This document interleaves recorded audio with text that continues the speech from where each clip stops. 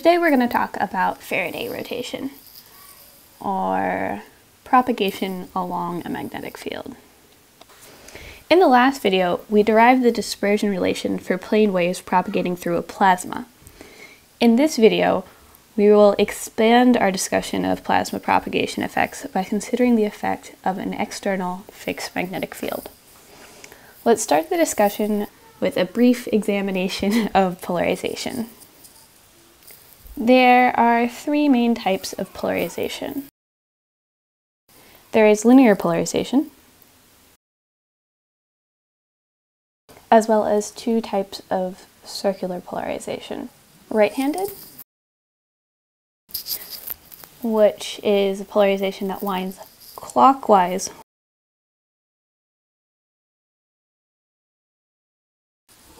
as well as left-handed polarization, which is characterized by winding counterclockwise. So the interesting part is, as we can see, a linear polarization is simply a combination of both types of circular spherical polarizations. All right. So polarization has four degrees of freedom. We call these degrees of freedom Stokes parameters. So our first Stokes parameter represents the total intensity of the polarized waves and is represented by the average of the squares of each coordinate component of the electromagnetic wave. Our second Stokes parameter represents the polarization along the coordinate axis. And this basically tells you which way the polarization is pointing, if it's along the x hat direction or the y hat direction. The next Stokes parameter tells us our polarization along the 45 degree line between the coordinate axes. And our last degree of freedom describes the circular polarization. So it's apparent that the properties of the waves propagating through our plasma will depend on the direction of propagation relative to the direction of the magnetic field. In order to continue our discussion of Faraday rotation, let's look at the special case of propagation along the direction of the magnetic field.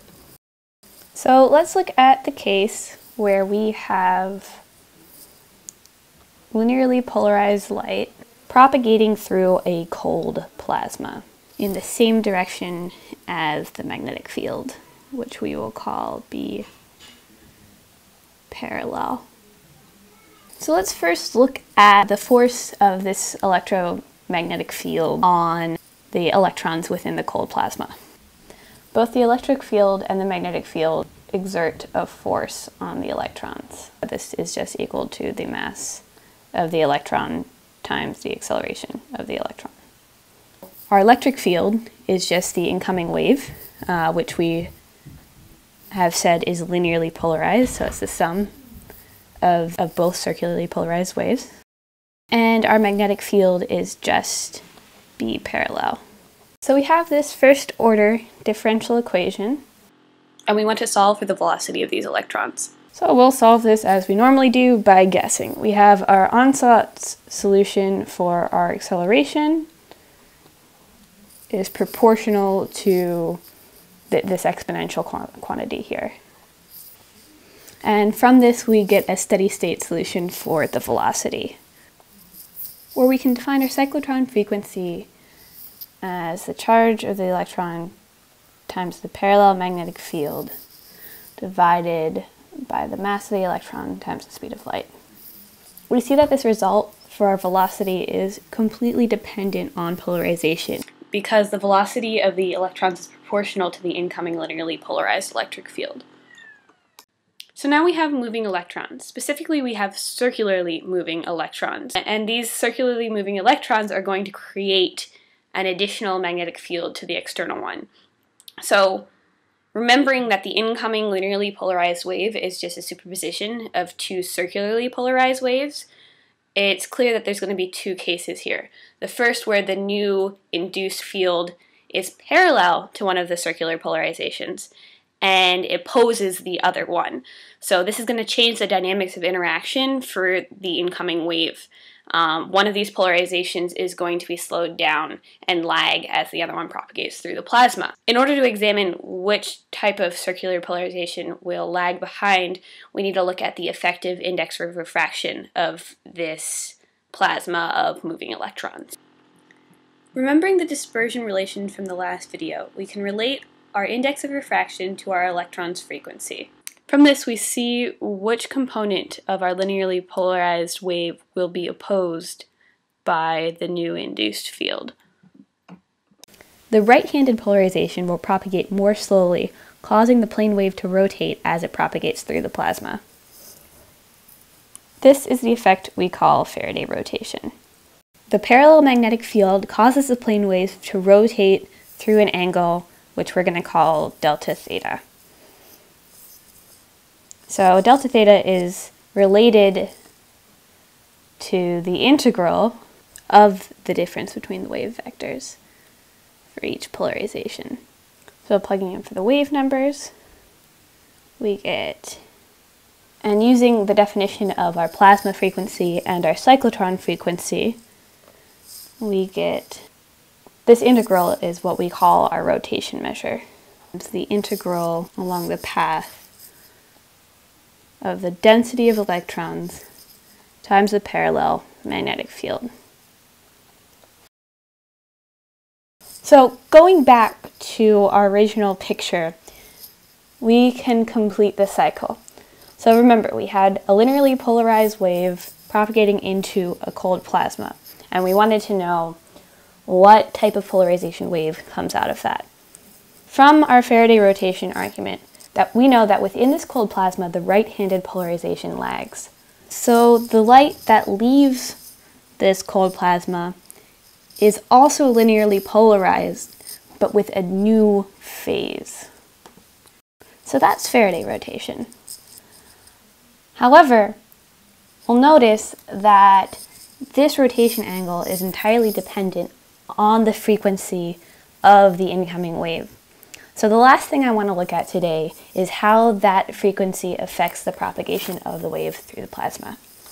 The question is, through a dispersive media, which reaches you faster, the higher or lower frequencies?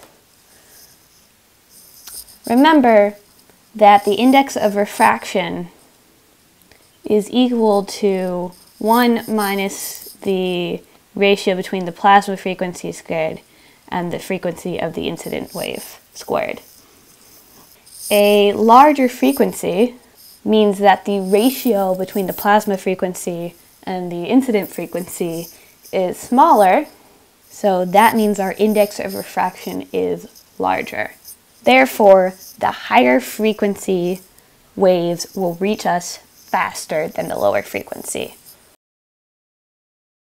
Now for the fun part. The easy way to remember this is to be a good nerd and remember your Star Wars.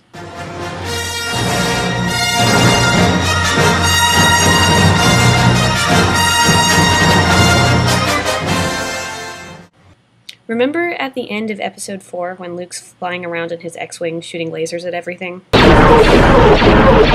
And by everything, of course, I mean the Death Star.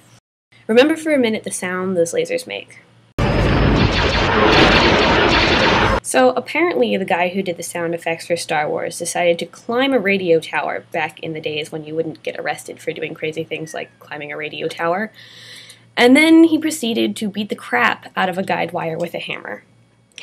the resulting sound we hear is the high frequency waves reaching us before the lower frequencies. Let's listen to it one more time. I just think it's really cool that we can actually hear the dispersion effect, and it's a really easy way to remember the answer. So as a summary, the real science of this lecture was we took a look at different types of polarization, and then we used those to analyze what happens when a linearly polarized wave propagates through a plasma with a background magnetic field in the same direction as the incoming wave's propagation. From this, we derived our Faraday rotation angle as well as our rotation measure. And that's Faraday rotation.